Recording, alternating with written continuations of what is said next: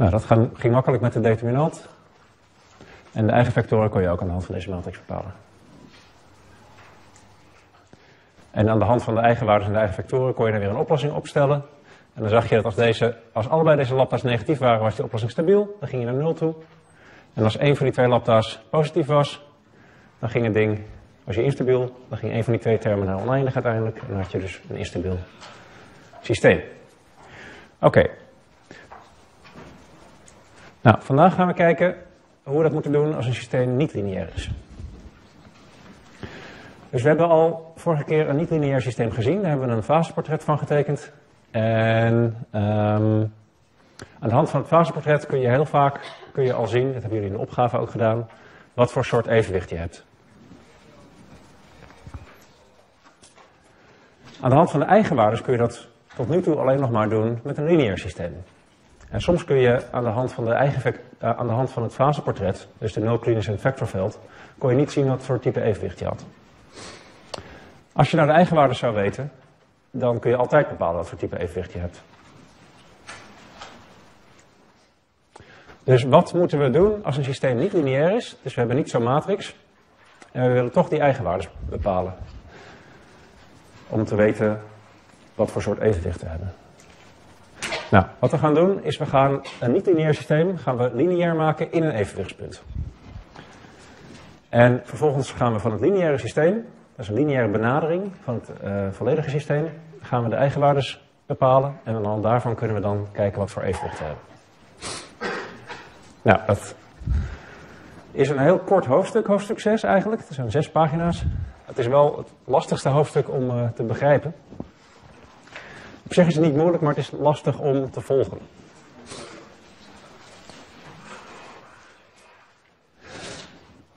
Uh, ik ga eerst even iets uh, vertellen over uh, afgeleiders. Het is belangrijk dat je begrijpt wat zo'n afgeleide precies doet. Um, jullie weten, een afgeleide geeft de helling van een functie op een bepaald punt. Hè? Dus als je een,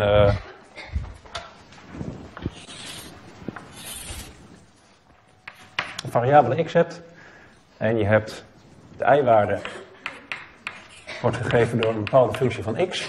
Nou, in dit geval is het uh, zo'n soort ding. Dan kun je op een bepaald punt, we noemen het punt eventjes x sterretje, kun je de afgeleide bepalen en dan vertelt dat je de raaklijn.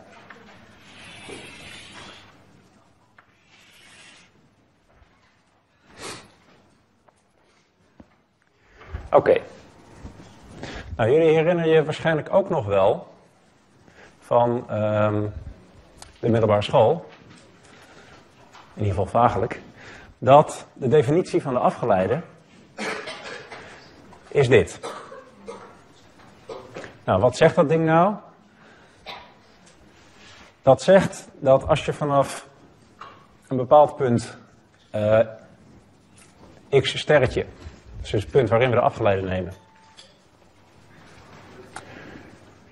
Als je een stukje naar rechts gaat, als je één naar rechts zou gaan, en je kijkt naar wat voor functiewaarde je dan krijgt. Dus je hebt, hier heb je de functiewaarde in het punt x sterretje en hier heb je de functiewaarde in een ander punt, x. Nou, als je één naar rechts zou gaan, dan is hoe ver je omhoog gaat hier, is natuurlijk de richtingscoëfficiënt van die raaklijn. En dat is de helling. Als je een stukje maar klein genoeg maakt, is dat de helling van deze functie op dat punt. Dus als dit stukje 1 zou zijn, dan zou je dit meteen um, de helling geven. Maar wat ze doen, kijk, als dit stukje een half is, dan krijg je hier de helft van die helling. Met andere woorden, het verband tussen hoe ver je naar rechts gaat en hoe ver je dan vervolgens omhoog gaat, dat is constant. Het maakt niet uit hoe ver je naar rechts gaat. Als, het, als je 1 naar rechts gaat, dan ga je A omhoog. En als je een half naar rechts gaat, dan ga je een half A omhoog. Dus wat ze dan doen, is ze maken het stukje dat je naar rechts gaat, maken ze oneindig klein. En vervolgens Wat hier dan uitkomt, het verschil tussen dit en dit, wordt natuurlijk ook oneindig klein, maar dat geeft je dan de helling. Nou, en dat is de definitie. Dus dit is het stukje dat je omhoog gaat en dit het stukje dat je naar rechts gaat. Of naar links. Nou, dat betekent dat, ehm, omdat die afgeleide je de raaklijn in een punt geeft, betekent dat je de afgeleide kunt gebruiken om uh, in dat punt een lineaire benadering van je functie te krijgen. Nou, wat bedoel ik met een lineaire benadering? Deze lijn is in ieder geval in het stukje rondom dat punt, hier ongeveer, komt hij redelijk in de buurt van wat onze functie doet. Ja, verder van het punt af gaat hij natuurlijk afwijken. Goedemorgen.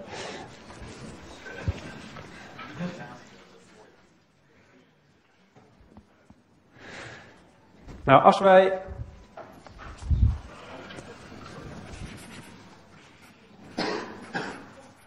Zo. Onze lineaire benadering is dus deze lijn, hè? Lineaire benadering van de functie fx in het punt x sterretje. Nou, deze lijn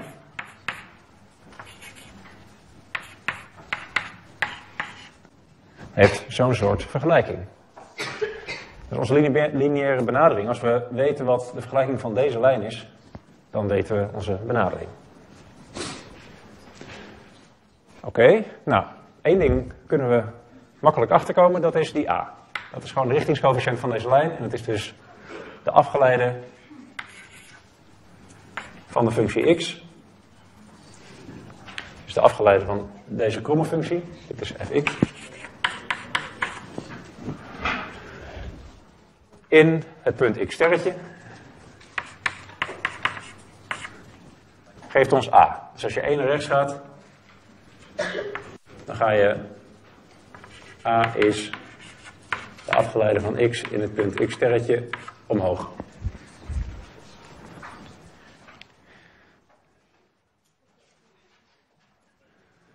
Dus de helling, oh ja. Zou je iets groter kunnen schrijven? Ja. ik zal het eventjes uh, hiernaast doen, dan heb ik iets meer ruimte. Dus de helling van onze lijn. En dit kan ook ietsje groter dan. Uh, wat zei ik nou? Ja.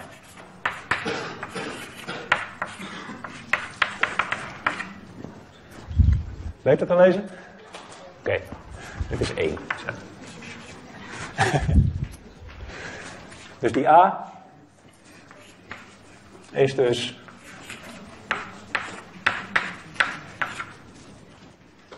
en deze lijn is fx. Zo. Oké. Okay. Dus die A weten we. Nou gaat hij hier toevallig bijna door 0,0, maar stel dit gaat niet door 0,0. Dan moeten we dus nog weten dit punt. Dus die B die geeft je het snijpunt met de y-as. Uh, dat is te bepalen, maar het kan ook op een wat makkelijkere manier voor je niet deze B nodig hebt, namelijk Um, als je een bepaalde hoeveelheid naar rechts gaat, dan is dit stukje. Stel we gaan niet 1 naar rechts, maar we gaan hoeveelheid D naar rechts. Dan gaan we dus vervolgens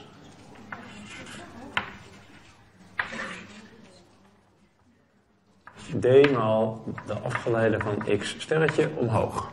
Want dit gaf ons de richtingscoëfficiënt. Dus d maal a.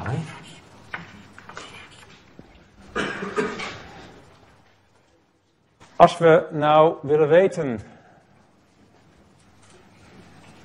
wat onze lineaire benadering is uh, in een punt x. Nou, we weten wat de waarde van de functie is in dit punt. Dus dit is gewoon als je uh, de functie invult in het punt x-sterretje. Nou, ik moet misschien even een concreet voorbeeld nemen, want dit wordt een beetje veel f en f-accenten. Dus laten we even zeggen dat deze functie is um, e tot de macht 2x. Dan is dit punt is dan uh, wat je krijgt als je x-sterretje invult voor x, is dus e tot de macht 2x sterretje. Nou, dat is nog steeds niet uh, heel inzichtelijk. Stel dat x sterretje is 1, dan krijg je dus gewoon e tot de macht 2.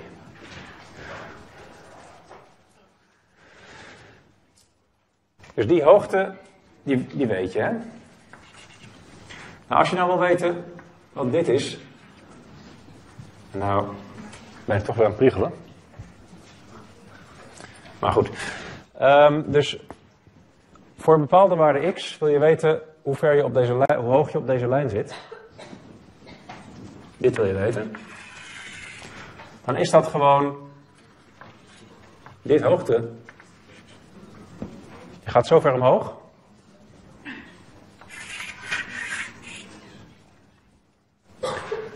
Als je zo ver naar rechts gaat.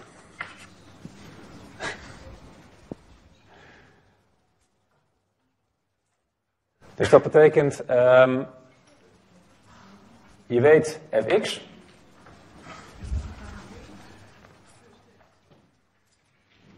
Nu ben ik zelf in de war.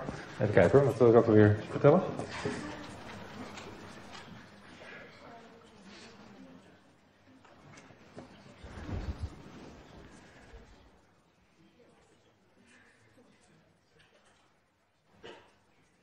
Ja, je wil dit eigenlijk weten. en je weet dit. En je weet de helling, dat is dit.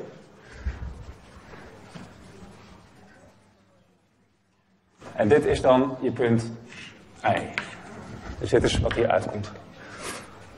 Dat is dus gelijk aan um,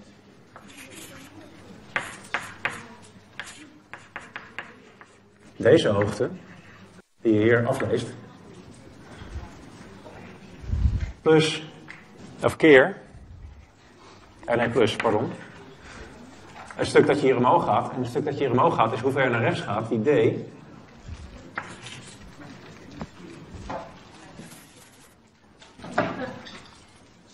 maal de richtingscoëfficiënt.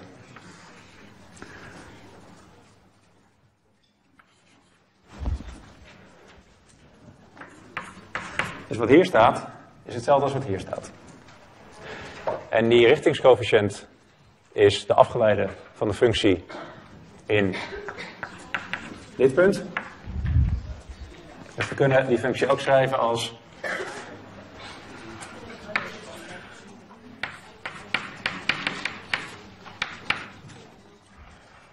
Um,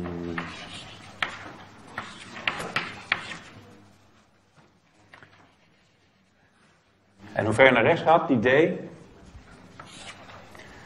is het verschil tussen deze twee gewoon. Dus dat is x min x sterretje. Dus wat hier staat, is in feite een vergelijking voor deze rechte lijn. En aan de hand hiervan kun je, als je een bepaald punt hebt waarin je de raaklijn hebt bepaald, x sterretje, bijvoorbeeld 1, je vult hier 1 in in de functie. Je bepaalt de afgeleide. Je vult x sterretje in, pardon. En dat vermenigvuldig je met de afstand tussen je punt waar je de afgeleide hebt bepaald en de x die je wilt weten. Dus dit kun je omschrijven naar iets van deze vorm. Maar in principe zijn we er al hier. Oké, okay, dat is misschien een beetje verwarrend. Maar we weten dus dat we weten wat de helling is van deze lijn en we weten dat hij door dit punt gaat. En in principe is dat voldoende informatie om de vergelijking te krijgen. Ja.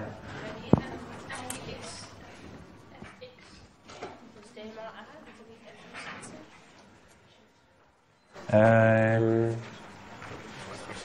Eh, wat was je vraag, sorry? Ja, die i is fx, dus d maal a, die formule. Ja? Moet toch f accent zijn? Nee, deze niet. Dus dat is een beetje, zoals ik al zei, die F'en en die accenten zijn een beetje eh, verwarrend. Ik zal even gewoon een voorbeeld eh, geven. Dus die fx. We gaan hem gewoon een keertje doen. Dat is misschien makkelijker. Oké.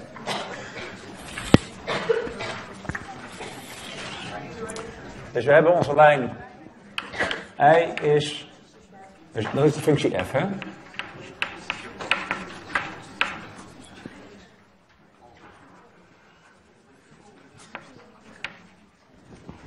Dus i is e tot de macht 2x, had ik gezegd. En op het punt 1, x is 1, wil ik ehm, een lineaire benadering doen. Dus wat je dan doet,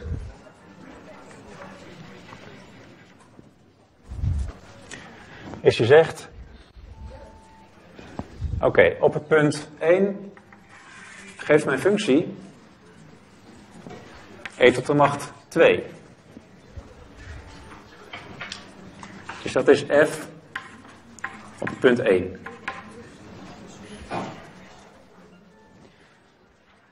En ik weet dat mijn raaklijn, de helling van mijn raaklijn, hier, is de afgeleide van deze functie in 1. Voor x is 1. Nou, de afgeleide van deze functie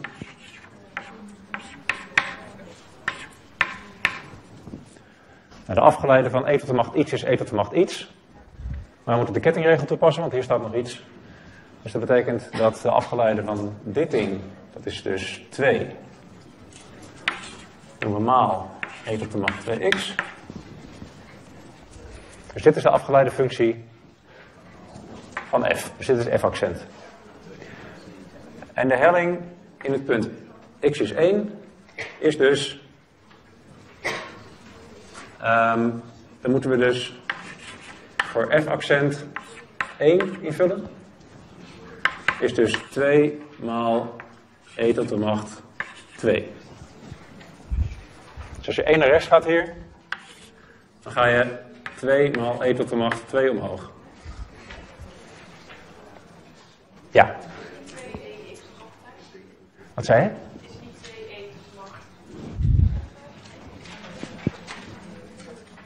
Ehm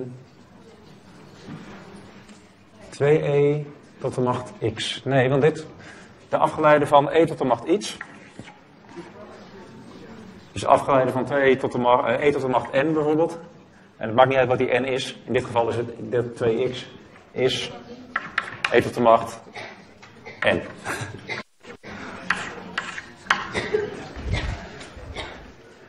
En dan moet je vervolgens, moet je nog, omdat je eh, dit ding, die n in dit geval een functie is, moet je nog vermenigvuldigen met de afgeleide van n. Dat is een kettingregel. In hoofdstuk 11 staat, staat de kettingregel nog een keertje uitgelegd. En ook afgeleiders voor veel gebruikte dingen, zoals e tot de macht iets.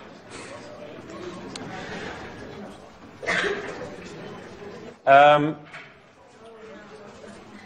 vervolgens kunnen we dus. We weten dus ehm, wat deze hoogte is. Hè? In het punt 1 weten we wat f is. En vervolgens kunnen we zeggen, nou, als we hier bijvoorbeeld willen weten voor x is 2, wat onze lineaire benadering is.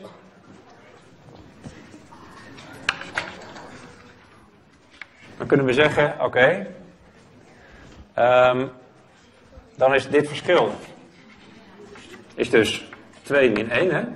Is dus 1 gewoon. En dan ga je hier dus 2e tot de tweede omhoog. Als je 1 naar rechts gaat. En dan wordt je waarde in 2 voor x is 2 volgens je lineaire benadering, pardon. Dus dat is die hieronder wordt dus e tot de macht 2 plus 2e tot de macht 2. Dit stuk. Met andere woorden, als je hem invult hier, dan krijg je hier dus voor deze, krijg je e tot de macht 2, hè? Voor deze krijg je die 2 e tot de macht 2. En dit ding is 1 bij elkaar. Uh,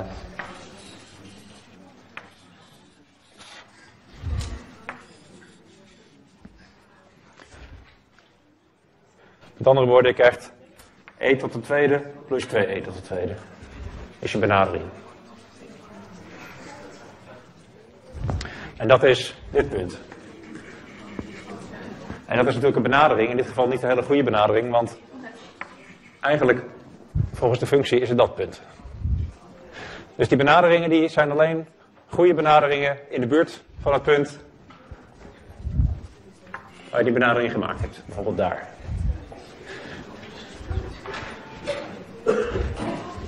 Oké. Dus dit, ik heb hem hier andersom opgeschreven. Dus dit is dit, hè.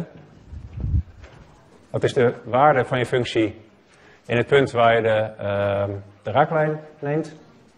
De hoogte van de functie eigenlijk. Dit is de, de helling van je raaklijn. Dus de afgeleide in dat punt. En dit is de afstand tussen dit punt en het punt waar je x wilt weten.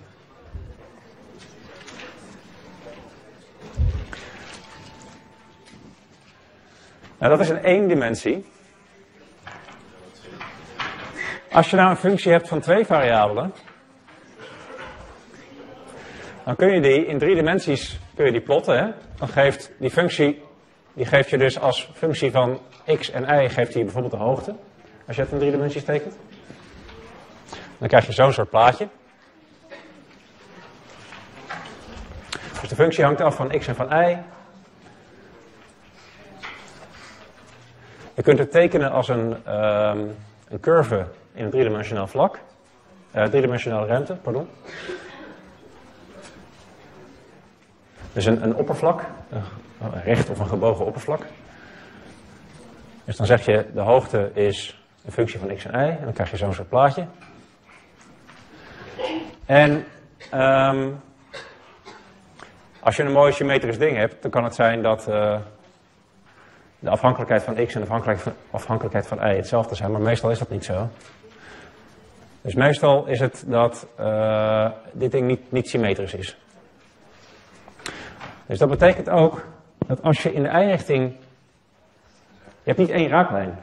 Als je in de y-richting de helling bepaalt, uh, in de x-richting de helling bepaalt, dat is, dit is de x-as, dan is dit de helling in de x-richting van het vlak, dan kan dat, is dat meestal een andere helling dan de helling in de y-richting.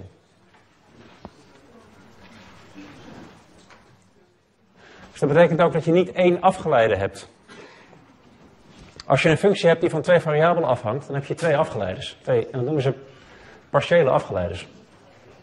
Dus je hebt een afgeleiding in de, afgeleide in de x-richting en een afgeleide in de y-richting. Die geven je de helling in de x- en de y-richting.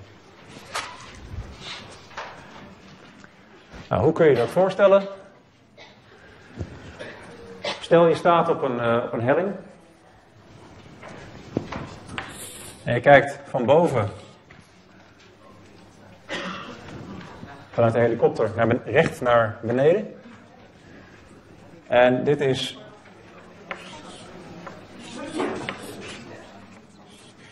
bijvoorbeeld, hoppakee, noord, zuid, oost, west. Dus je kijkt van bovenaf op een berg. Je staat hier. Dan kun je de oost-west richting kun je x noemen. En de noord-zuid richting kun je y noemen. Hè? Dus in feite kijk je van bovenaf op dit plaatje neer. En zie je dus de projectie hier op het grondvlak. Als je die richting oploopt, of die richting oploopt, dan is er een bepaalde, dan loop je omhoog of omlaag, of niet. Dan heb je in ieder geval een bepaalde helling. En die is meestal anders dan als je die richting oploopt, of die richting oploopt. Dus in de x-richting heb je een andere helling dan in de y-richting. Nou, die helling in de x-richting, dat noemen we de partiële afgeleide naar x. Dus als, De helling waar je op loopt wordt beschreven door een functie f. Die afhangt van, oh, van x en y. Dan is de afgeleide van die functie naar x, is de helling in de x-richting. Dus dat is de horizontale helling. Hè? Dus hoe ver je omhoog of omlaag gaat als je die kant op loopt. En de partiële afgeleide naar y is hoeveel je omhoog of omlaag gaat als je de andere kant op loopt. En dat noteren we zo met die rare kromme d'tjes. In principe is het niks anders dan gewoon de afgeleide van de functie f naar x. Je zou er ook net zo goed een normale d voor kunnen gebruiken. Alleen uh, we gebruiken die kromme d'tjes om aan te geven dat er meer variabelen zijn dan alleen maar x. Dus je leidt hem af naar x, maar je kunt hem ook afleiden naar y. Dus je kunt de helling bepalen in de x-richting en in de y-richting. En die zijn meestal verschillend. In alle andere richtingen heb je gewoon een combinatie van die twee hellingen. Hè?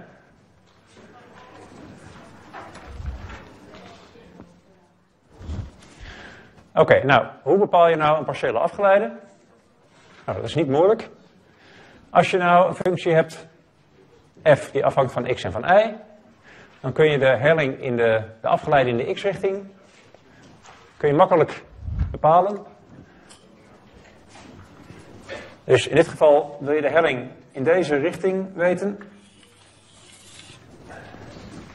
Nou, dat betekent dus dat y is hier constant. Je verandert y niet.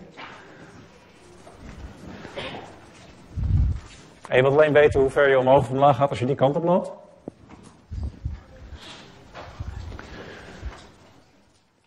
Nou, de afgeleide van een constante is 0.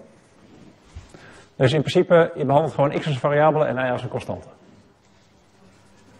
Dus je berekent gewoon, zoals je gewend bent, de afgeleide, alleen met y als constante. Nou, voorbeeldje. Deze functie.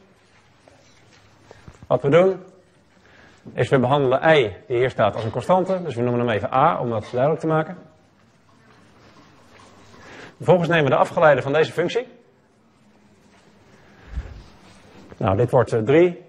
Dit wordt uh, 2 keer uh, 3x. En dit wordt uh, min 1,5 a. Dan, hè?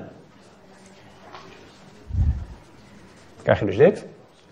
En vervolgens moeten we even bedenken, oh ja, die a, dat was zo'n y. Dus onze partiële afgeleide in de x-richting is dit. Dus dit is de helling van deze functie in de richting van x. Nou, hetzelfde kunnen we doen voor de y-richting. Dus de afgeleide van f in de y-richting. Behandelen we y als variabele en x als een constante. En vervolgens behandelen gaan we gewoon weer de afgeleide nemen. Dus dezelfde functie. Dit keer zeggen we, oké, x is de constante, die noemen we even b. Dus dan krijg je hier een constant ding, hier een constant ding en alleen hier zit een y. Dus de afgeleide hiervan wordt 0, de afgeleide hiervan wordt 0, en de afgeleide hiervan wordt min anderhalf d. En je moet even bedenken dat die b was een x. Dus onze partiële afgeleide naar y is min anderhalf x. Die is dus anders dan de partiële afgeleide naar, naar x. Dus de helling van deze functie in de x-richting is anders dan de helling van deze functie in de y-richting.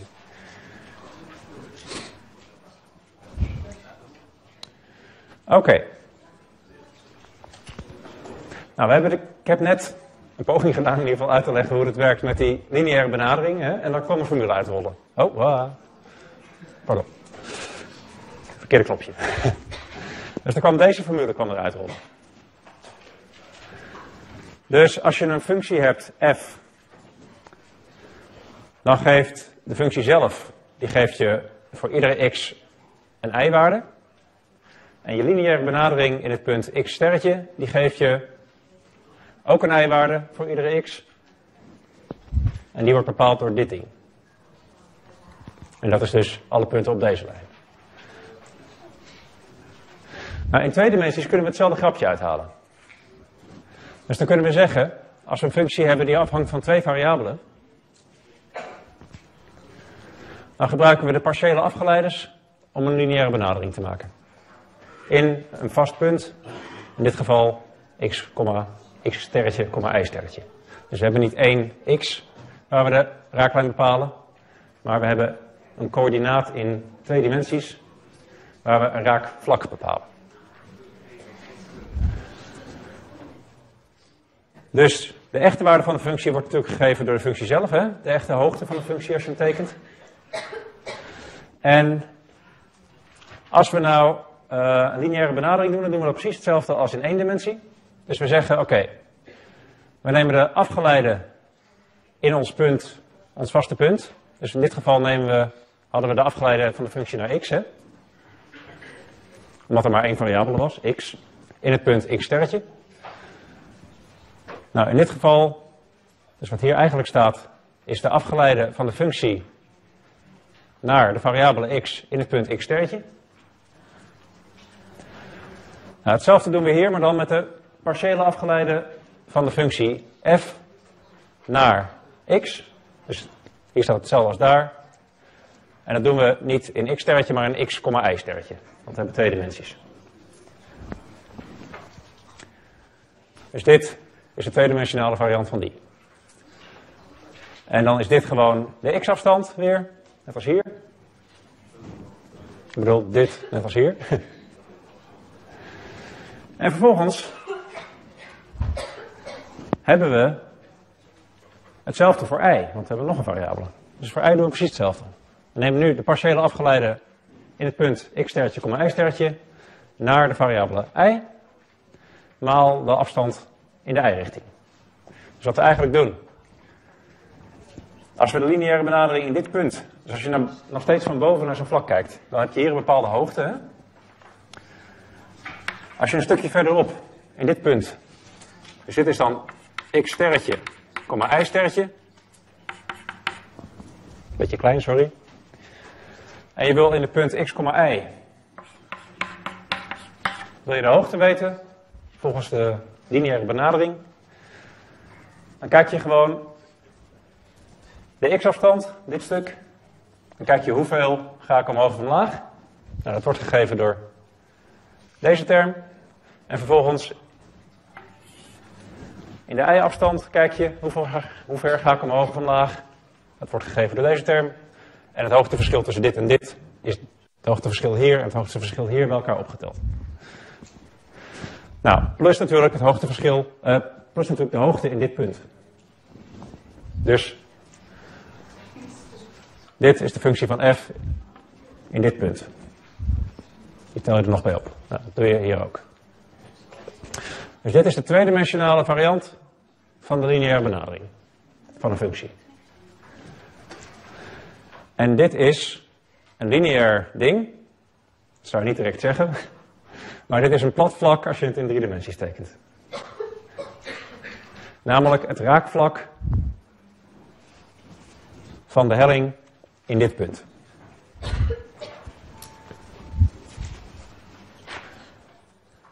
Dus de echte helling wordt gegeven door de functie zelf. Dat is meestal voor niet-lineaire dingen is dat een, uh, een gekromd vlak. Hè? Nou, de benadering in een bepaald punt x-sterretje, y-sterretje wordt gegeven door dit ding. En dat is dus, dit ding is constant. Want x en y-sterretje zijn constant. Dus dit is gewoon een constante, maal dit is ook een constante. Dus dit bij elkaar is allemaal constant. Dit is een variabele. Hetzelfde hier, dus je krijgt iets van deze vorm. En dit is sowieso een constante. Dus dat is een plat vlak. Het raakvlak. Nou, tijd voor een voorbeeld weer. Dus de functie e tot de macht x plus 2i. Die lijkt erg op wat we net hier hebben gedaan. Hè?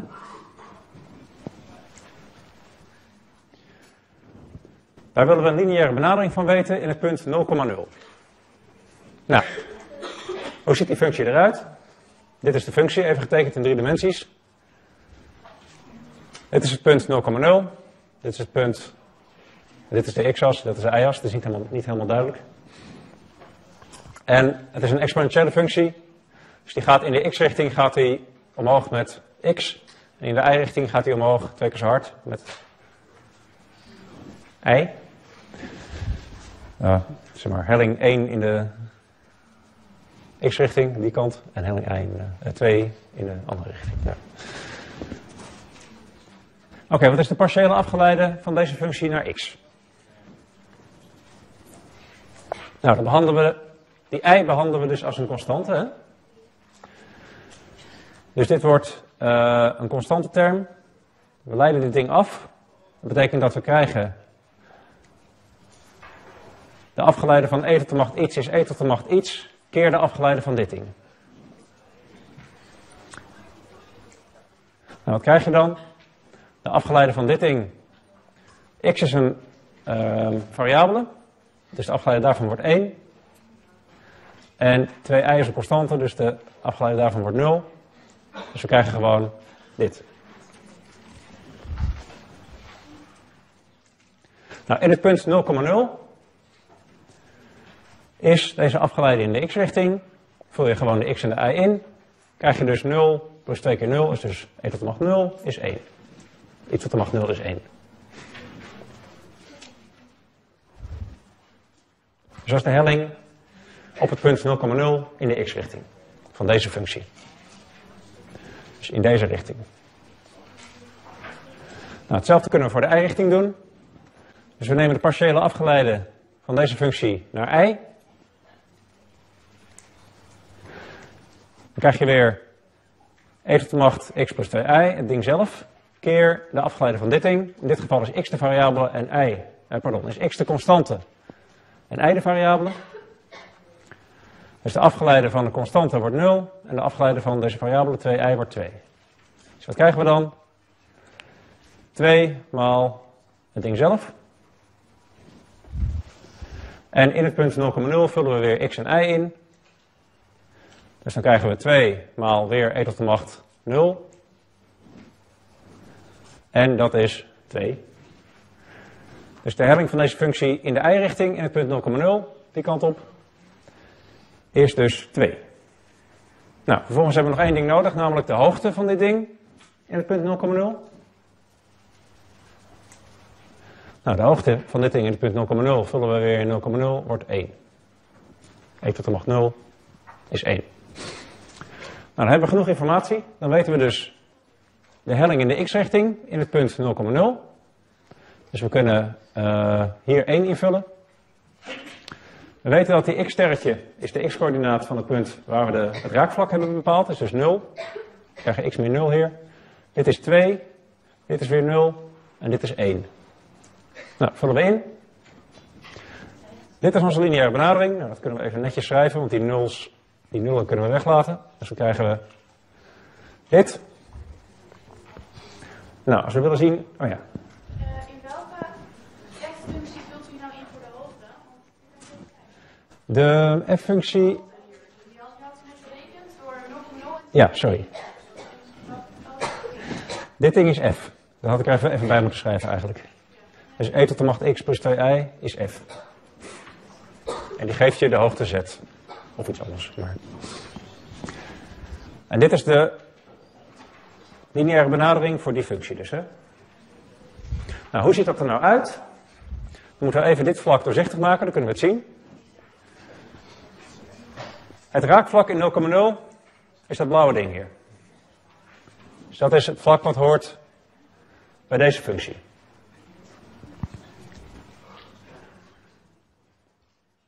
Oké, nou zie je dat in het punt 0,0 valt hij natuurlijk samen met de functie. Is immers een raakvlak. En je ziet dat naarmate je verder weg gaat van 0,0 gaat hij behoorlijk afwijken. Hè? Dit is een behoorlijk verschil. Dus het is een lineaire benadering. Die is niet bepaald goed als je ver van het punt gaat waar je, waar je de functie hebt benaderd. Nou, we kunnen een stukje inzoomen. We kunnen niet van 0 tot 1 kijken hier, maar bijvoorbeeld van 0 tot 0,1. Dus zoomen we 10 keer in. Nou, we zien wel dat hij een stuk beter past. En als we nog een keer tien keer inzoomen, dan vallen die twee eigenlijk min of meer samen. Dus dan voor kleine uh, afwijkingen van 0,0 is dit een goede benadering.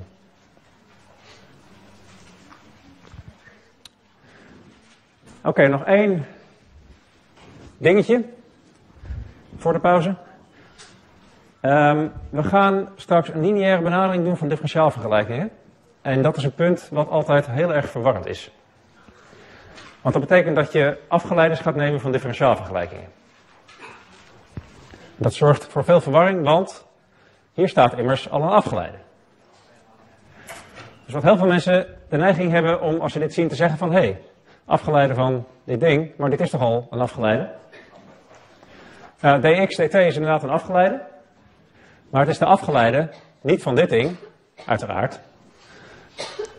dt is de afgeleide van uh, een onbekende functie. Dat is de oplossing van deze differentiaalvergelijking. Hè? Die geeft hoe x verandert in de tijd. Nou, wat betekent het nou? Dus dt wordt gegeven door wat hierachter staat, door fx. En geeft je de snelheid waarmee, de snelheid waarmee de variabele x verandert in een bepaalde tijd. Dus de veranderingssnelheid van x. Dus is de afgeleide van x naar de tijd. Nou, de afgeleide van dit, dit ding is dus eigenlijk de afgeleide van dit weer. Dat is, kunnen we ook schrijven als df dx. Dat is dus de afgeleide van deze functie naar de variabele x. Die vertelt je hoeveel dit ding, dus ook hoeveel deze veranderingssnelheid, die dx dt, hoeveel die verandert als je x verandert. Met andere woorden, hij geeft je de afhankelijkheid van dit ding van x. Nou, dat klinkt een beetje abstract. Dus ik ga even een voorbeeld geven. Als we deze hebben, hè? dus we hebben gewoon exponentiële groei. Dit is de meest eenvoudige model van deze cursus. N is populatie. T is bijvoorbeeld uh, per jaar. Dan is dn dt is dus niet de afgeleide van Rn, maar het is de afgeleide van de oplossing van deze differentiaalvergelijking. Dus dat is dit. En die wordt gegeven door Rn. En het is dus de afgeleide van dit ding naar de tijd t.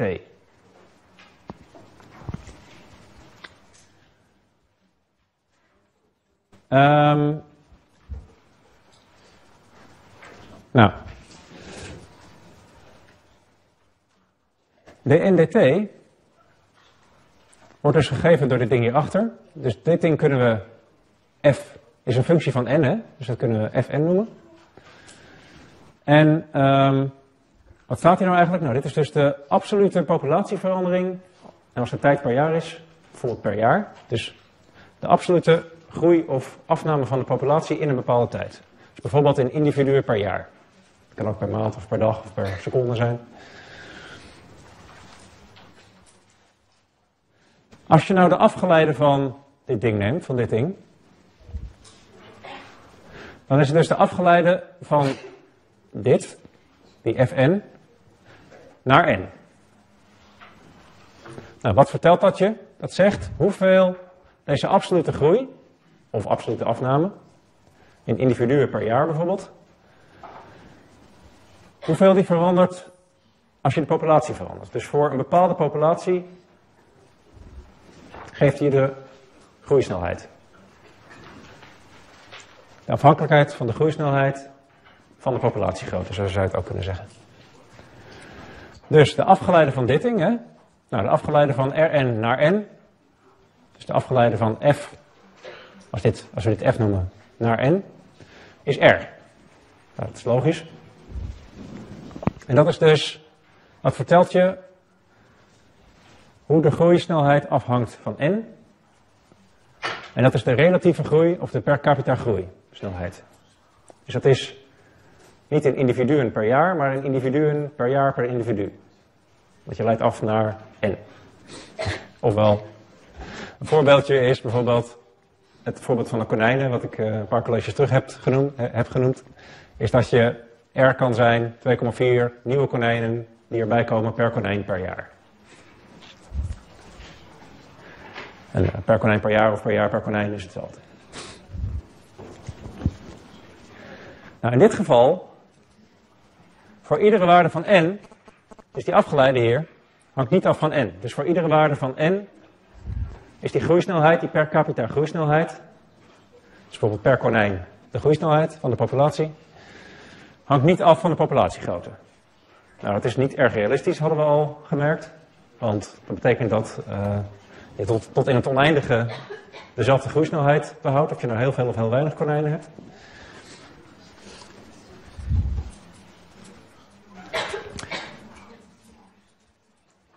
Nou, dit ding, die Rn, is een lineaire functie van n. Hè?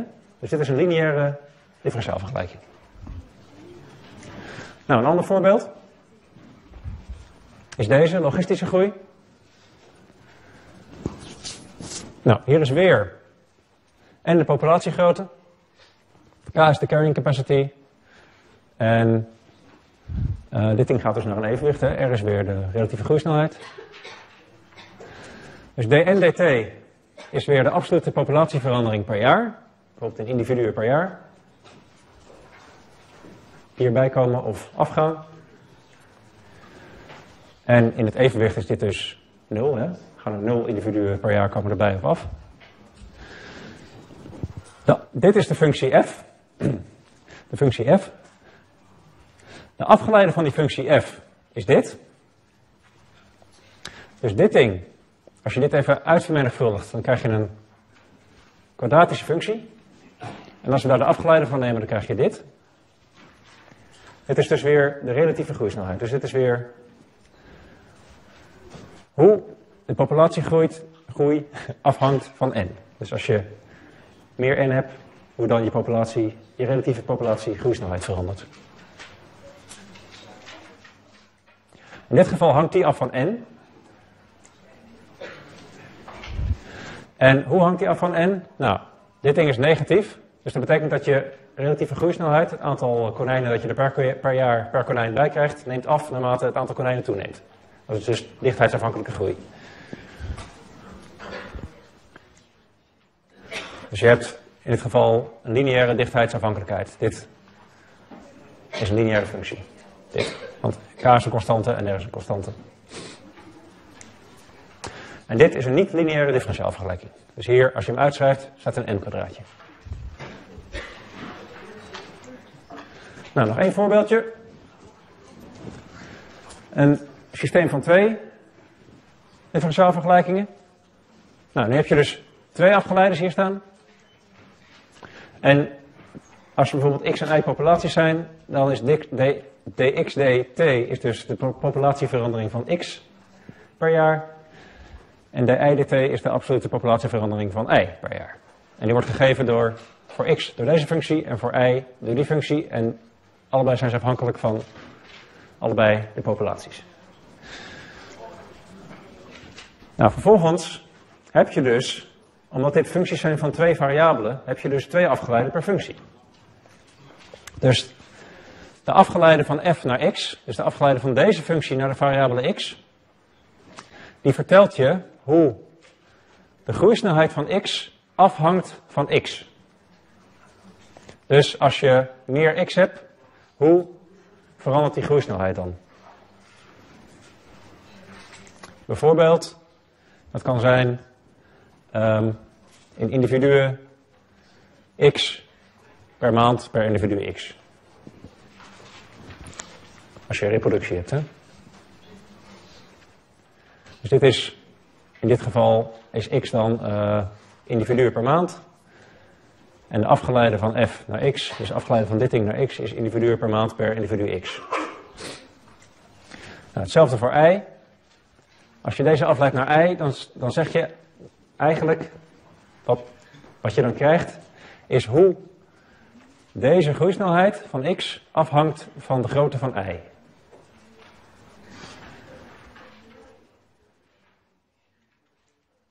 Dus bijvoorbeeld, um, als um, y het aantal jagers is en x het aantal konijnen, en iedere jager die schiet per maand 10 konijnen, dan verdwijnen er dus uh, eh, 10x, 10 konijnen per maand per individu ei, per jager. Dat is de afhankelijkheid van deze van i. Of de afgeleide van deze functie naar i. Nou, hetzelfde kun je doen voor die andere. Dus de afgeleide van deze functie naar x geeft je hoe de populatiegroei van x afhangt van x en van y. Nou, maak er een potje van. Oké. De afgeleide van g naar x vertelt je hoe de populatiegroei van y afhangt van x. En de populatie, eh, de afgeleide van g naar y vertelt je hoe deze populatiegroei afhangt van y. Om het even ingewikkeld te maken. Zoals ik al zei, het is enigszins verwarrend. Nou, hoe moet je dit nou zien? En dit is mijn laatste ding voor de pauze.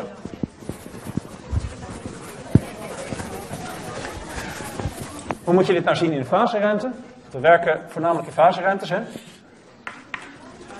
dan zet je de grootte van x uit tegen de grootte van y. Dus je zou het ook kunnen zien als een soort berglandschap, waarbij de hoogte op ieder punt, of eh, waarbij de positie op ieder punt is hoeveel x en y je hebt.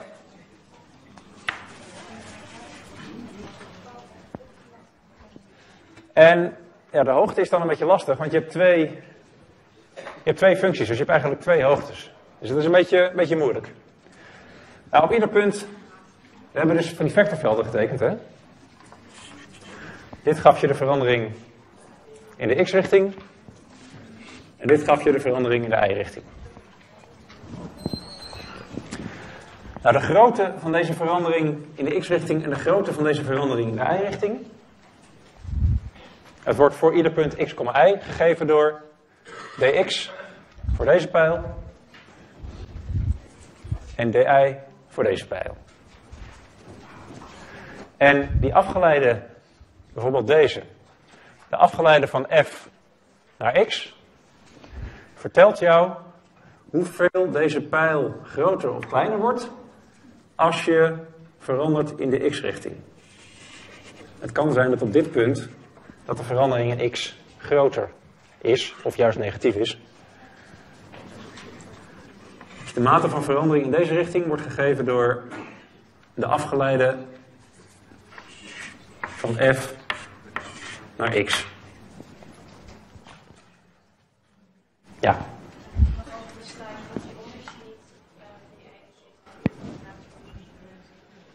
Even kijken.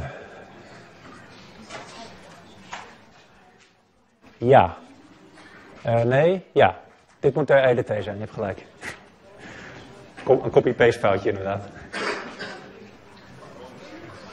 Ja, dit zijn allebei de xdt, want dit geeft voor deze functie. En dit moet allebei de, e, dt zijn, je hebt gelijk. Dus de afgeleide van de eerste functie in de x-richting vertelt je hoeveel deze pijlen, die horizontale pijlen, groter of kleiner worden als je verandert in de x-richting. En de afgeleide naar y in die richting. Eh, pardon. Ja. Die vertelt je hoeveel deze pijlen groter of kleiner worden.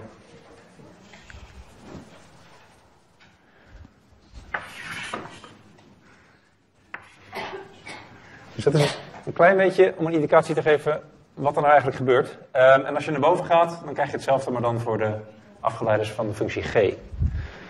Naar x en naar y. Uh, daar gaan we maandag nog wat meer over zien. Na de pauze ga ik jullie vertellen over gelineariseerde differentiaalvergelijking. Sorry voor de uitloop. Um, ik stel voor niet al te lang pauze, want anders uh, komen we straks in tijdnood. Dus uh, voor 10 minuutjes of zo. Weer verder.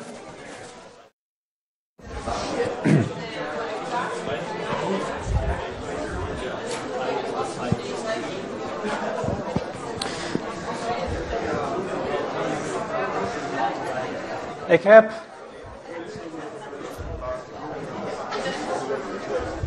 In plaats van het gepriegel van net heb ik even dit plaatje wat duidelijker getekend. Dus nogmaals, als je zo'n faseportret hebt, zo'n faseruimte, hè, dan is dus de positie x en de positie y geef je de grootte van x en van y weer. De pijlen in de x-richting geef je de grootte weer van dx dt voor deze pijl en di dt voor die pijl omhoog. Als die negatief zijn, gaan ze uiteraard naar links en naar beneden. En als je nou 1 naar rechts gaat in de x-richting, dan is hoeveel deze pijlen groter of kleiner worden. Dat is, als je naar rechts gaat, hoeveel de x-pijl groter wordt, is dan de afgeleide van f. Dus die functie naar x. Hoeveel deze pijl groter of kleiner wordt, is de afgeleide van f naar y. En als je nou eentje naar boven gaat, dus eentje in de y-richting, dan geeft de afgeleide naar x. Dat is dus die naar x geeft je hoeveel deze pijl groter of kleiner wordt. En de afgeleide van die functie naar y geeft je hoeveel deze pijl groter of kleiner wordt. Dus dat is de, de interpretatie van al die afgeleides. Oké, nou. Ja. Die speelt de, de rechter ehm de eipel die met zo kort blijft als de eerste. eh, Oh, deze, ja. Ik heb hem meer, omdat het niet past anders, ik heb hem hier korter gemaakt, maar dat kun je niet zo goed zien. Ik heb toch weer gepriegeld. Dit is een stippellijntje. dus dat is dan hoeveel die korter wordt. Bijvoorbeeld 0,5.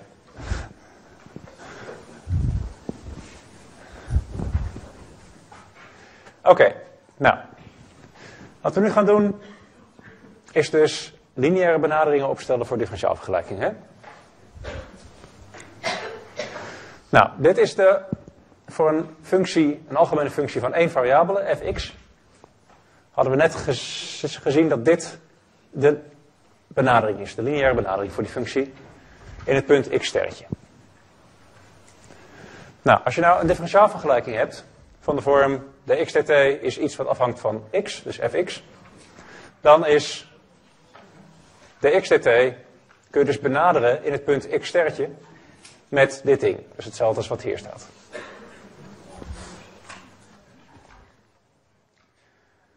Oké, tot zover is het redelijk overzichtelijk.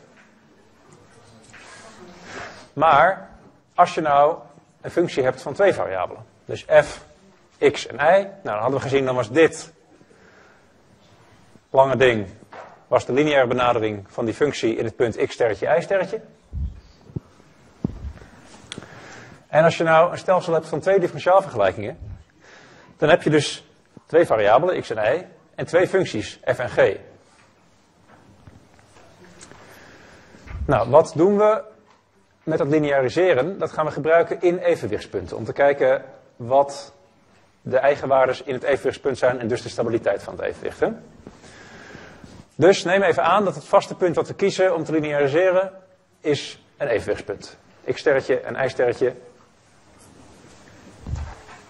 Dat zijn uh, waardes van x en van y waarvoor dit hele systeem in evenwicht is. Nou, dan kunnen we dus voor iedere van die functies kunnen we een lineaire benadering opstellen. Dit voor de functie f, dit voor de functie g. Ik heb eventjes hier gewoon gezegd dx, uh, om het df, dx, om het overzichtelijk te houden. Wat ik mee bedoel, wat ik, wat ik hiermee bedoel, is de afgeleide van f naar x in het punt x sterretje, y sterretje. Dat staat hier niet, maar dat bedoel ik wel. Dat, in de vorige slide had ik dat wel expliciet neergezet. Maar dan wordt het, anders wordt het zo lang. Dus onthoud het even. Nou, dat ziet er uh, lang uit. Nou kunnen we dat wat korter maken, doordat we al weten dat dit een evenwichtspunt is. Nou, wat geldt er in een evenwichtspunt? In een evenwichtspunt is dx dt 0 en dy dt 0. Dus deze functies leveren allebei 0 op in dat punt. Dus dat betekent dat als je die x sterretje y sterretje hier invult, komt er 0 uit. Nou, dat is precies wat we hier doen. En hier doen. Dus deze termen zijn allebei 0. Dus die kunnen we gewoon weglaten. In een evenwichtspunt. Krijg je dit. Nou, het ziet er al iets overzichtelijker uit.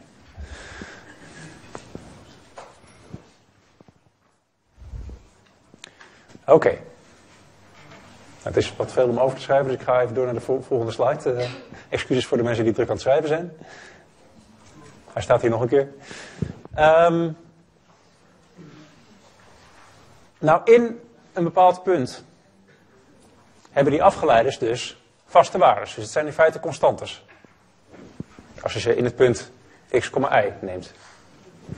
Eh, x sterretje, y sterretje. Dus dat betekent dat dit ding, al die df dx, df dy, dg dx, dg dy kunnen we schrijven gewoon als constante waardes. Dus dan krijgen we dit. Nou, dat ziet er al meer uit als een lineair systeem. Hè? Behalve dan dat hier nog staat x min x sterretje. Nou, die x sterretje is een constante, dus dit hele ding is een lineair systeem. Nou, wat betekent die x min x sterretje nou precies? Nou, x sterretje was de x-coördinaat van het evenwicht. En x is nou, x. Dus dat betekent dat x min x sterretje is de afstand van x tot het evenwicht. De x-afstand tot het evenwicht. En y min y sterretje is de y-afstand tot het evenwicht.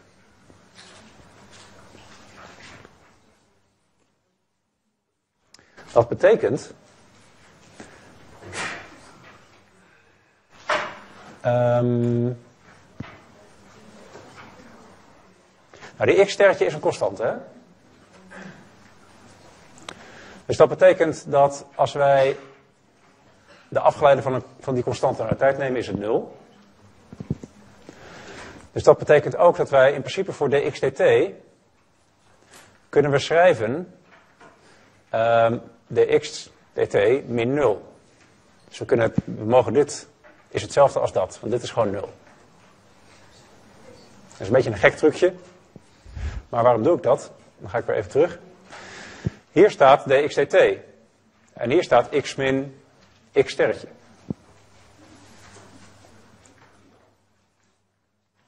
We kunnen die dx dt schrijven als dx dt min dx sterretje dt.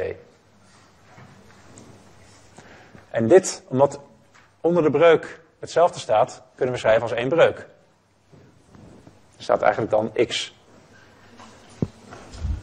Um, ja, dit ding is 0, maar kunnen we schrijven als één breuk. Dat betekent dat we dit systeem ook kunnen schrijven op deze manier.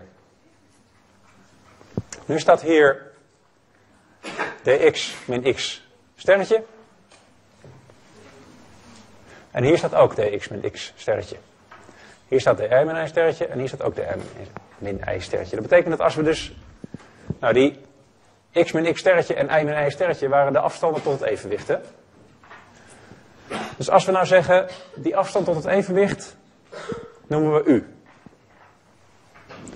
Dus u is dit. Dat is de x-afstand tot het evenwicht. De y-afstand tot het evenwicht noemen we v. Dus we maken in feite twee nieuwe variabelen die niet onze waardes van x en y geven, maar de afstand van onze x en y tot een evenwichtspunt geven. Dan kunnen we het systeem zo schrijven. Dus dan hebben we gewoon een lineair systeem. En dat heeft als variabele niet x en y, maar de afstand van x en y tot het evenwichtspunt.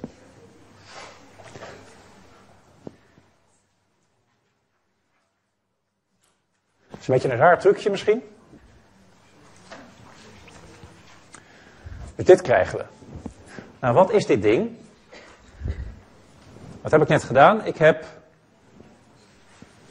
een differentiaalvergelijking heb ik gelineariseerd in een evenwichtspunt. En u en v geven onze afstand tot het evenwichtspunt en dit is gewoon een lineair systeem. Dat kunnen we dus op deze manier schrijven.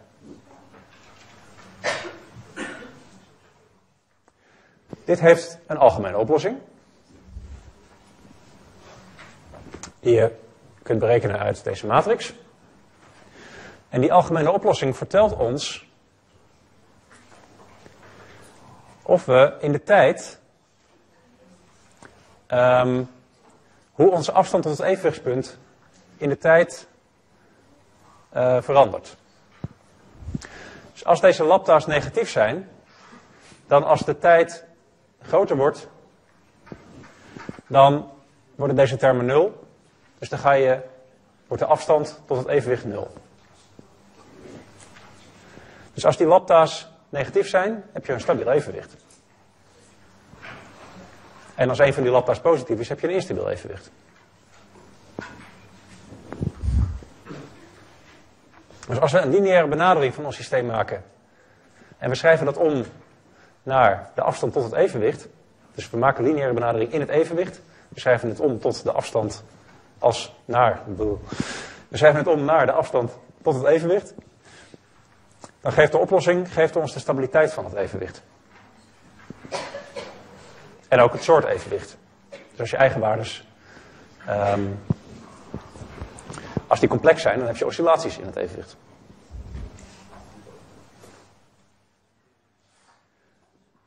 Dus die oplossing die geeft ons uh, hoe de afstand tot het evenwicht verandert in de tijd. Hè? En die hangt af van die lambda's. Als een van die lambda's positief is, dan is het instabiel. Dus dan ga je weg van het evenwicht. En als ze allebei negatief zijn, dan ga je naar het evenwicht toe.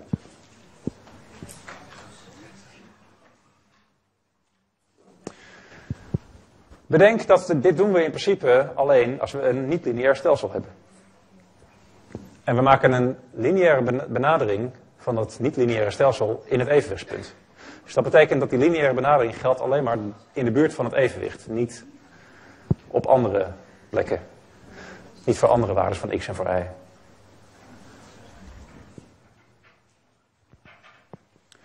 Nou, zoals ik net al zei, we kunnen dus aan de hand van die eigenwaardes van die matrix, kunnen we iets zeggen over het soort evenwicht wat we hebben. Maar hoe kwamen we nou aan die waardes A, B, C en D? Ik had net gezegd, dat waren die partiële differentialen in het evenwichtspunt.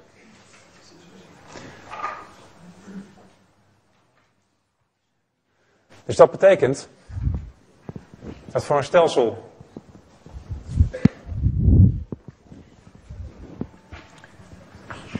dx dt is f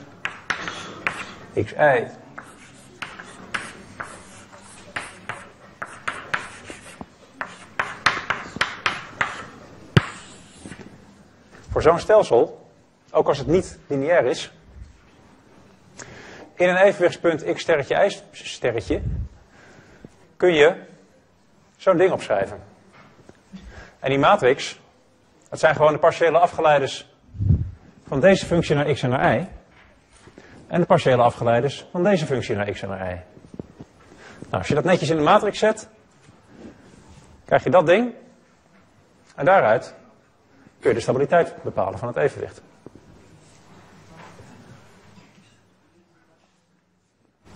Nou, hier nog een keer. Die matrix, dat noemen we een Jacobiaanse matrix, of een Jacobiaan. Dus dat noemen we de Jacobiaan van het oorspronkelijke systeem. Als je dus de partiële afgeleiders bepaalt van je oorspronkelijke systeem, je zet ze in zo'n matrix, en je vult vervolgens gewoon waardes in voor ieder evenwichtspunt, dan kun je dus voor ieder evenwichtspunt zo'n matrix krijgen en die vertelt je wat voor, wat voor type evenwicht je hebt. Althans, de eigenwaardes daarvan vertellen je wat voor type evenwicht je hebt.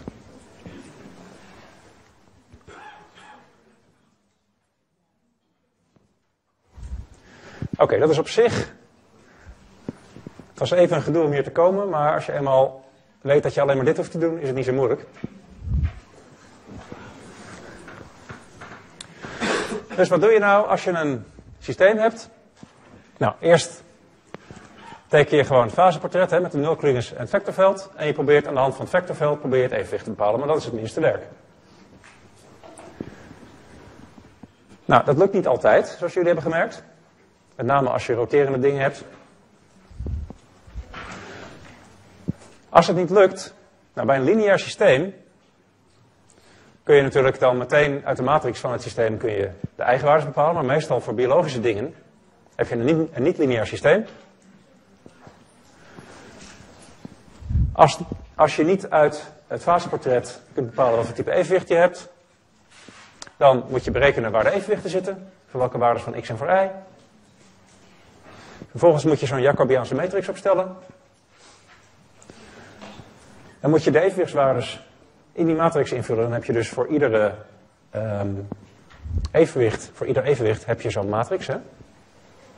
En de eigenwaardes daarvan eh, vertellen je wat voor type evenwicht het dan is. En vervolgens kun je het faseplaatje afmaken. Nou, even een voorbeeld. Moet nog wel lukken. Mag dit weg?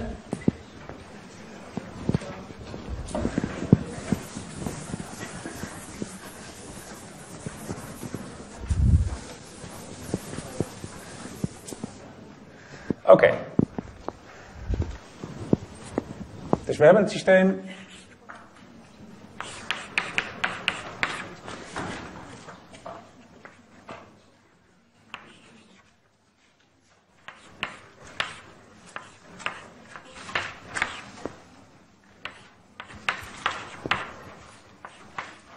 We hebben deze. Nou, dat is een, ehm, een tweedegraads ding. Dat is 3x min 3x kwadraat.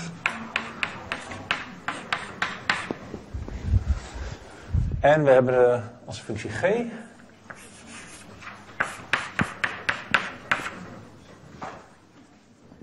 Dat is. Ja, dus dit is de x dt. Dit is de y dt.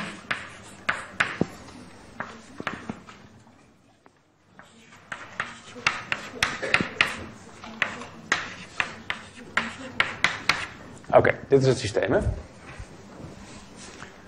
Nou, stappenplan. Nou, faseportret, nulcleanus, et cetera. Dat hebben we geloof ik al een keer gedaan voor dit systeem. Ehm, als ik me goed herinner.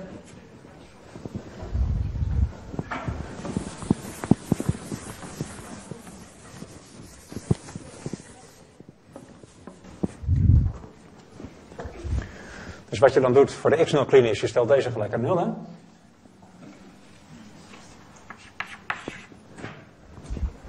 Nou, krijg je dan?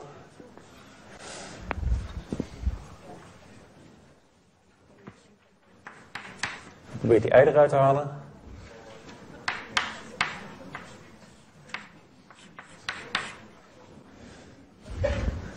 Min anderhalf xi.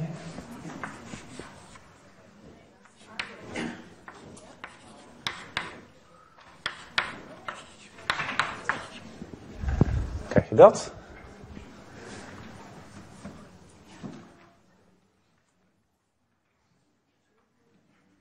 Oh, in alle termen staat een x, dus x is 0 is een oplossing. Of anderhalf i is min 3x, dus 3x kwadraat. Ofwel i is min 3 gedeeld door anderhalf, dat was min 2 geloof ik. Ja. Even kijken, nee, dat doe ik niet goed. Die x moet weg. En dit moet gewoon een x worden. Zo.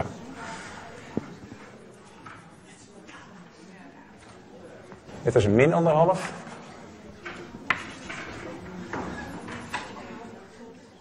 Twee. Min. Volgens mij was dit hem, toch? Heb ik dat goed? Oké.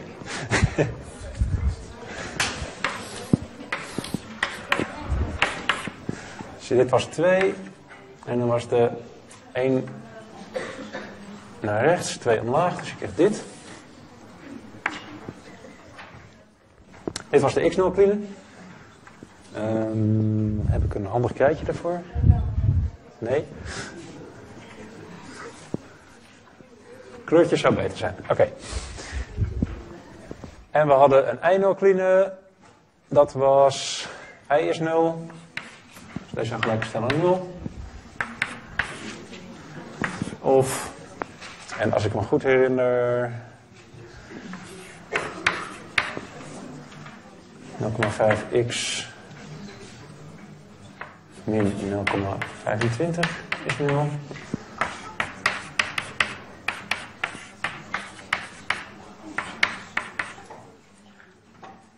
X was een half, geloof ik, hè?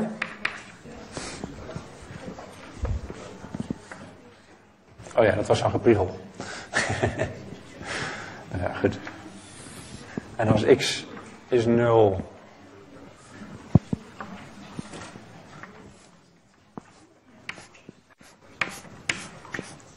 Zo.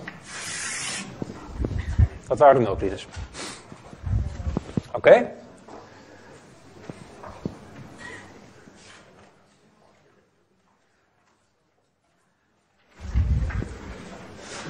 Eh, dat is verder niet zo heel boeiend. We hadden in ieder geval drie evenwichten. Ik laat even het vectorveld, doe ik even uit mijn hoofd. Zo. Dat was dit. Ehm,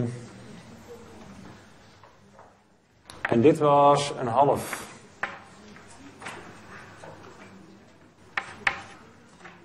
Bij 1. Denk ik.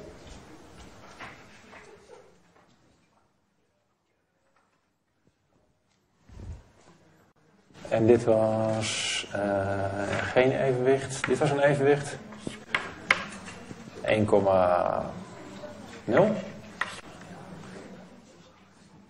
En dit was een evenwicht, 0,0.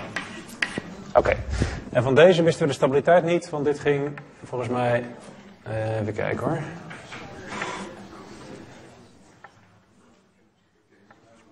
Zo.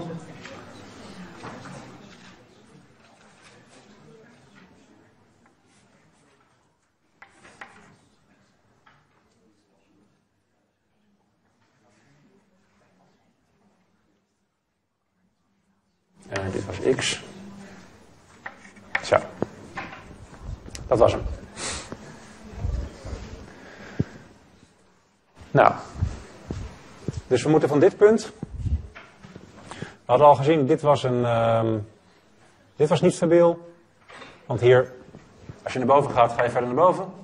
Dit was niet stabiel, want je ging over deze nulkline ging je die kant op. En dit ding, een half komma 1, moeten we dus nog de stabiliteit van bepalen. Ja, daar is mijn wisser. Nou, hoe doen we dat? We maken een Jacobiaanse matrix.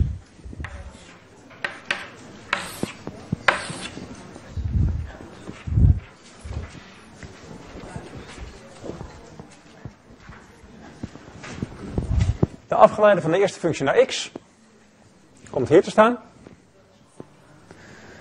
Nou, wat is de afgeleide van de eerste functie naar x?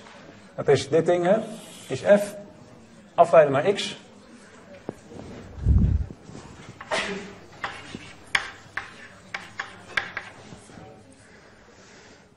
Ehm, dan wordt dit, eh, dus is de variabele en y is de constante. Dan krijg je 3 min 6. Die hadden we net, net al gedaan trouwens.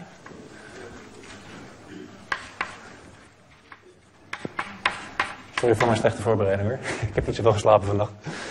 Ehm anderhalf. Ei. Zo.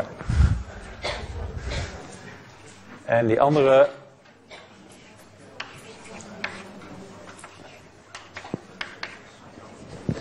Afgeleide naar i. Dat was. Min anderhalf x. Dus dit waren de afgeleiders van de eerste functie naar x en naar y. Hè? Dat hadden we als voorbeeld gebruikt net. Nou, als we willen weten wat die zijn in het punt x is een half.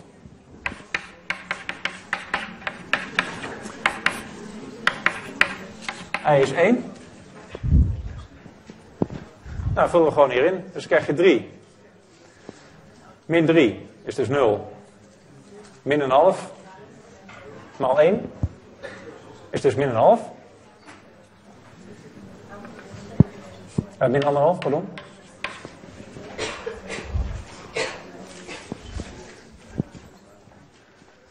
En hierin ook invullen. Nou, dit is min anderhalf keer een half. Is dus min 0,75. Klopt dat?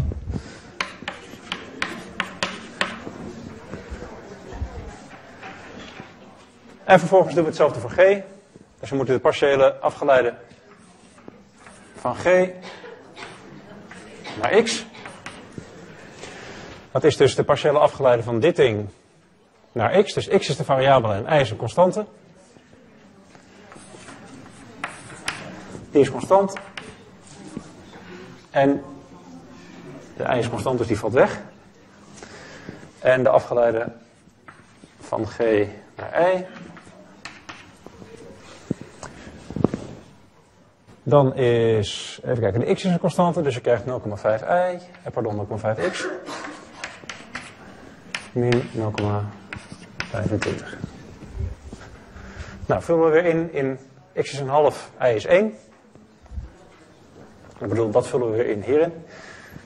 Dus dan krijgen we voor dg dx, die komt hier. Krijgen we 0,5 keer 1 is 0,5. En voor dg vullen we in uh, een half maal een half is 0,25. Min 0,25 is dus 0. Oké, dit is onze matrix.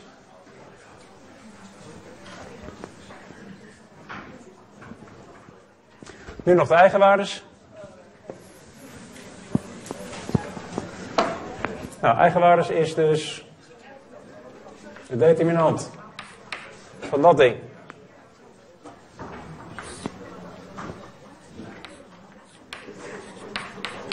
In lambda.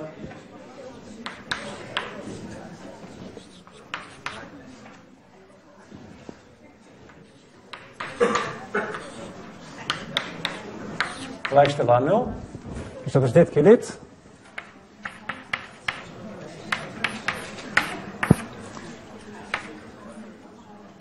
Min, uh, sorry.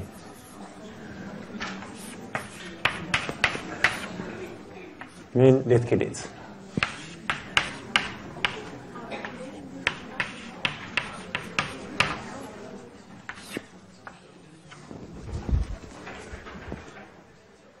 Oké. Okay. Even kijken wat eruit komt. Um, dit keer dit is 0. Dat is makkelijk. Dit keer dit is plus 1,5 lambda. Um, dit keer dit is ook 0. En dit wordt plus lambda kwadraat. Min. Hier staat een min, dus dit wordt een plus. Een half keer 0,75. Dat is een half keer 0,75. Hoeveel? 0,375. Als ik al zei, ik had het beter voor moeten bereiden. en ik ben niet zo goed in hoofdrekenen. Oké, okay, nou. Krijgen we dit? Um, heeft iemand een rekenmachine? Want dit ga ik niet aan mijn hoofd doen, vrees ik.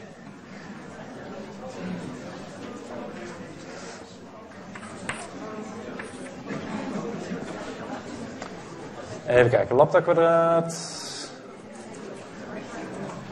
plus anderhalf. Lambda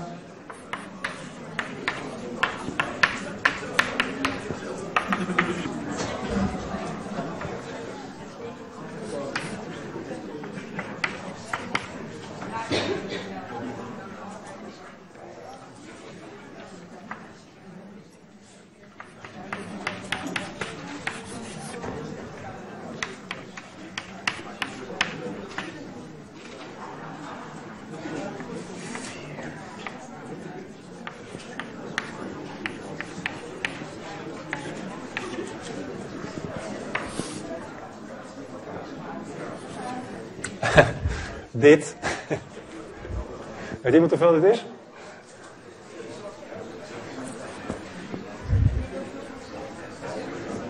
Hoeveel?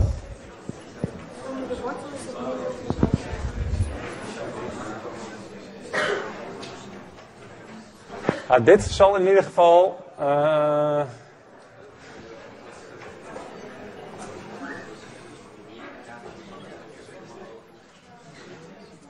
Even kijken hoor, dit wordt negatief waarschijnlijk, of niet?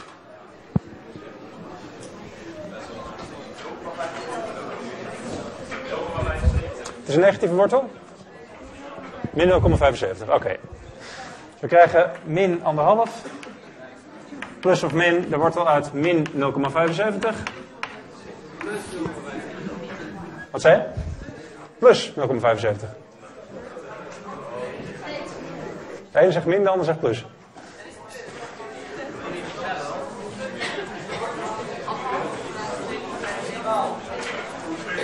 Anderhalf keer anderhalf. En vier keer. Hmm.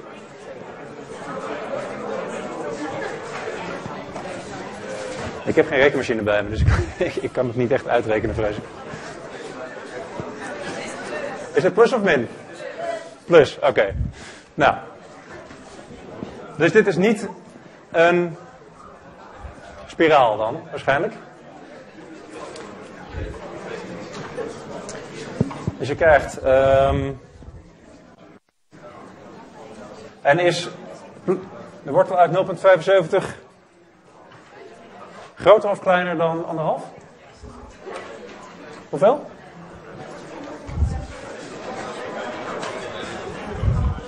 Een half wortel 3, ja, maar dat zegt me nog steeds niet zoveel.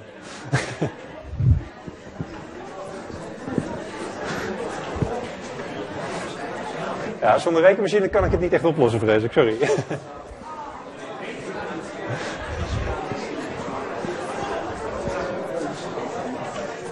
Oké, dan gebruiken we gewoon de rekenmachine van de computer.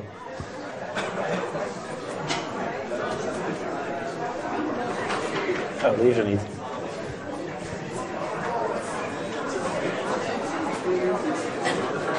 Zo.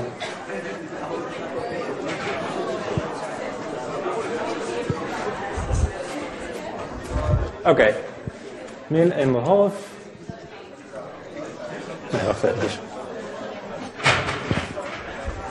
Wortel uit 0,75.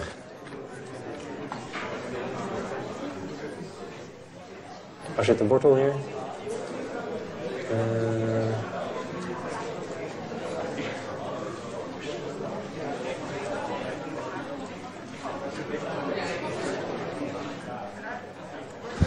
Nou, ik weet het niet. Maar. Het Wat zei je? 0,87, oké.